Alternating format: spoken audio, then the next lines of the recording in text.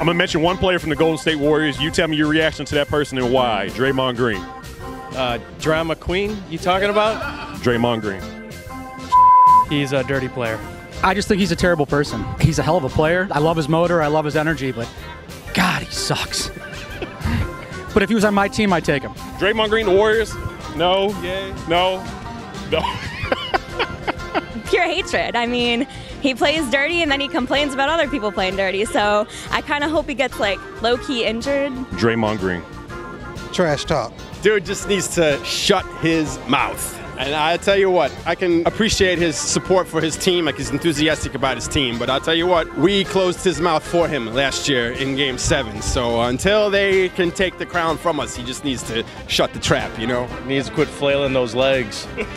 Big crybaby. He just brings a weird attitude to the game, and you gotta you gotta put him in his place. He's a bully. a bully. He go get suspended a game. He's a head case, I think, a little bit. Dirty.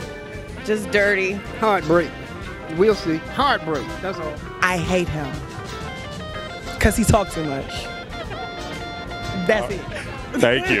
Enjoy lunch. Thank you.